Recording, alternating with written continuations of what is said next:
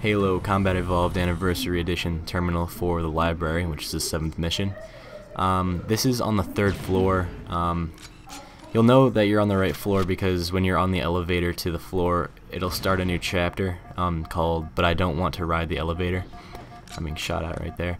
Um, anyway, yeah, once you reach this uh, circular room, you're going to want to jump over these um, these things. Not really sure what I want to call those, but the terminal's right there. It's blinking. Very hard to miss. Just press X.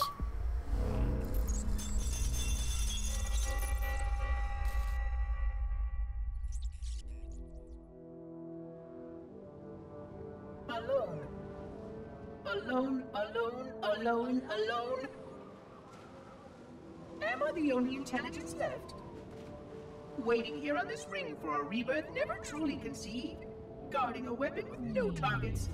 A weapon I could tune to any target. This is not what I had in mind when I volunteered. Not what I had in mind at all. I was naive to think I understood what this installation meant. We were all so naive. Looking back, we should have done a few things differently. One thing, we should have installed two caretakers per installation. Because I am alone, I'm losing focus.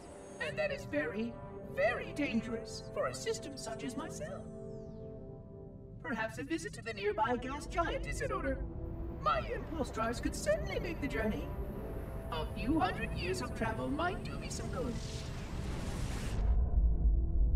There it was again.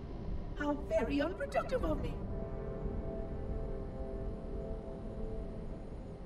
It seems strange that the librarian did not account for this. Her strength was always in planning and positioning the pieces and then being bold enough to let it happen. To let her plans come true.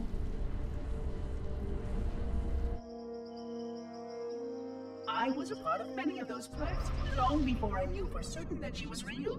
Before any of us were. But at the end, we had only a fragment of her brilliance left to us.